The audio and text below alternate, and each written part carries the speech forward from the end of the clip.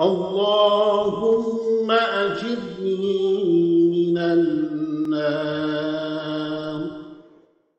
اللهم إنك عفو تحب العفو فاعف عنا.